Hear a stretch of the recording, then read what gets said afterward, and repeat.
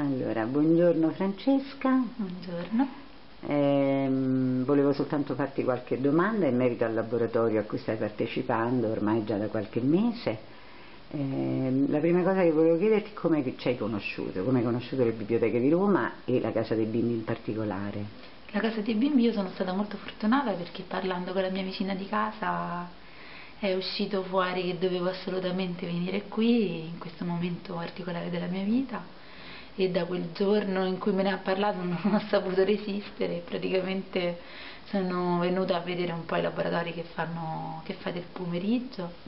E poi ho scoperto che c'erano anche laboratori per mamme. Anzi proprio la mia vicina di casa me l'aveva detto mi ha detto guarda vai perché sicuramente potrai fare qualsiasi cosa mm, come mamma gestante poi con la tua bimba vedrai che ti piacerà tantissimo e quindi tu hai partecipato a Profumo di latte di musica e parole. Adesso siccome noi è già dal 2009 che facciamo questi lavori, ma tu hai fatto un lavoro particolarissimo, quindi io vorrei proprio farlo vedere e tu ce lo racconterai. Hm? Quindi hai fatto il primo libro tattile praticamente. Sì, sì, doveva essere un piccolo libro da tenere nelle manine di una bimba, ma io talmente presa da, dalla bellezza di quello che stavo facendo ho cominciato ad aggiungere pagine, pagine, pagine. È stato molto divertente e anche, anche, bello mettersi un po' alla prova.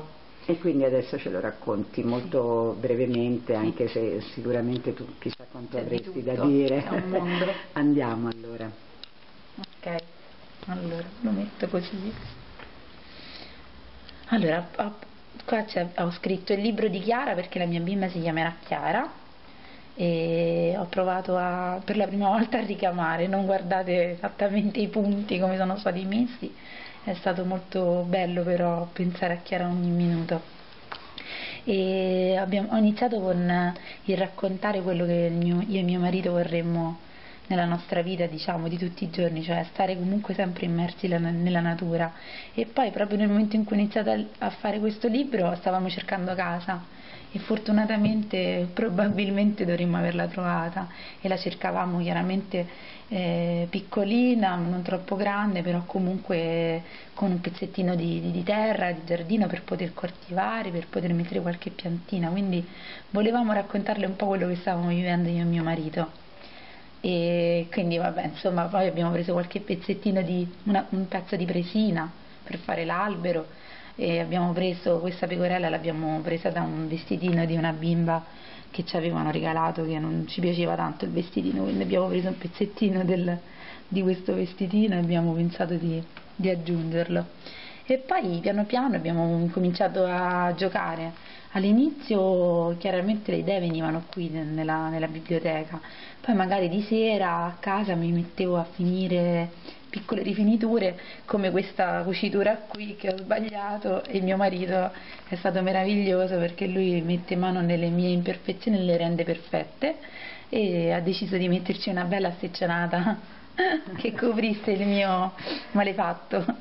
E poi abbiamo pensato di fare una cosa rumorosa in maniera tale che Chiara potesse divertirsi abbiamo messo eh, un cavalluccio perché mi riguarda sempre mia sorella. Mia sorella voleva fare la cavallerizza, voleva stare sempre con i cavalli. In un qualche modo ci è riuscita, sicuramente una, bella, una brava biologa marina, quindi era un modo per raccontare a Chiara la mia sorellina. E piano piano abbiamo cominciato a giocare, io e mio marito, anche alla biblioteca abbiamo pensato con l'altra mamma di fare qualche animaletto che sbucasse da qualche angolino per far giocare i nostri bimbi. Questo me l'ha prestato la mamma con cui abbiamo cucito insieme, Francesca, questa stoffa e quindi mi riguarda tantissimo lei e da questa stoffa poi sono arrivate tutte le idee più geniali anche a casa, ho preso questo pezzetti di stoffa per fare qualche piccolo pensiero ad alcune amiche. Poi abbiamo continuato praticamente facendo così, insomma, sempre un po' giochicchiando per farla giocare Chiara e quindi abbiamo pensato di metterci qualcosina nascosta, una taschina dove chissà ci metteremo qualcosa quando sarà un pochino più grande.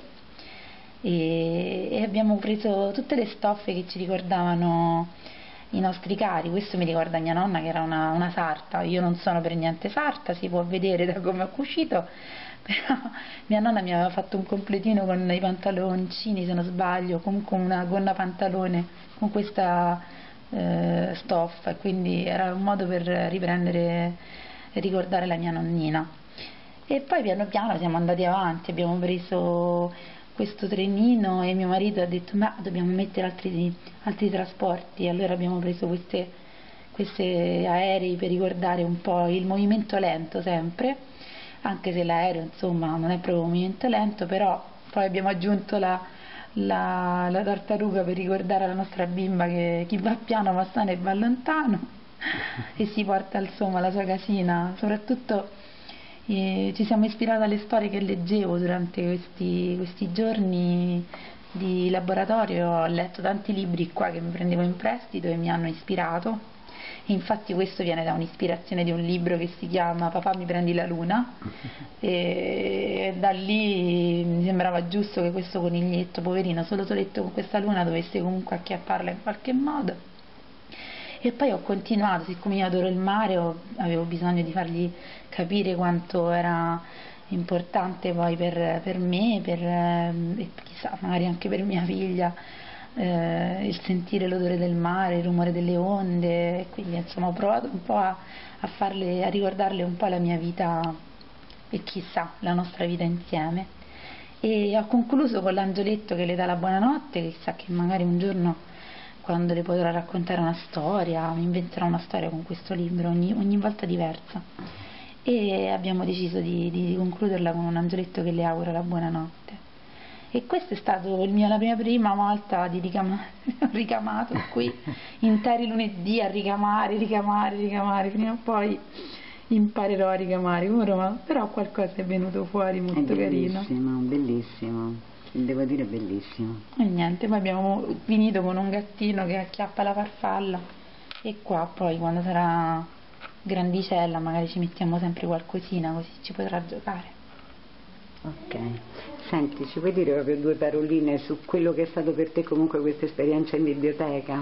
Ma è stato molto importante perché sono stata fortunatissima perché avevo tutto il tempo a disposizione, quindi mi sono proprio goduta questo momento di gravidanza al meglio, però non avrei mai pensato che avrei potuto dedicarmi a me per poter regalare qualcosa alla mia bimba. Di solito uno pensa mi devo dar da fare eh, mm, fare qualcosa che, che, faccia bene a lei, invece in realtà questa cosa ha fatto più bene a me, poi chissà, è un, un dare e ricevere. Esatto, Senti quanto manca il momento meraviglioso della eh, nascita? Mancano quasi due mesi, anzi di meno di due mesi, quindi abbiamo ancora poco. un bel po' da fare noi, ah, sì, e sì. poi quando arriverà Chiara ah, sì. si aggiungerà anche non lei. Non vedo l'ora.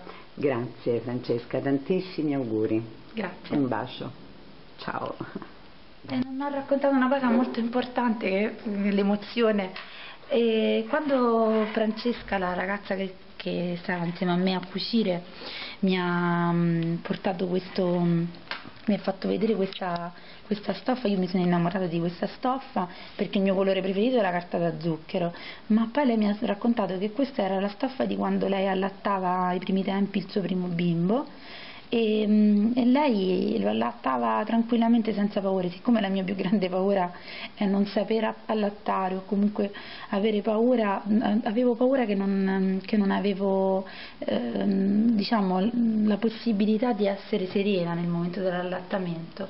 Quando lei mi ha raccontato che è stato così invece naturale allattare per lei, chiaramente è stata accompagnata, anche qui è, nella biblioteca, quindi mi ha rassicurato, allora le ho chiesto un pezzettino di questa stoffa per poterla guardare, ogni, ogni volta che ho paura guardo questa stoffa per, per ricordarmi di non avere paura. E poi mi ha raccontato che insomma si può in realtà tutti possiamo allattare, che non, non, dobbiamo avere paura. E parlando con Giovanna, con, con, sempre con Francesca, ho conosciuto il, ehm, il, consultore di Via dei Levi e lì ho iniziato il corso preparto con Celeste e da lì proprio tutte le paure alla fine sono andate via, in un certo senso ci sono però si, insomma si, si, ci si sente sempre più guidate, più rassicurate, cioè non, non, non, da sole non si può fare, quindi se qualsiasi paura posso andare da Celeste oppure possono venire qui da Giovanna e da Emma o chiamare Francesca e dirgli Franci come hai fatto. Quindi mi hanno proprio fatto capire quanto è importante chiedere aiuto e non avere paura. Grazie, brava.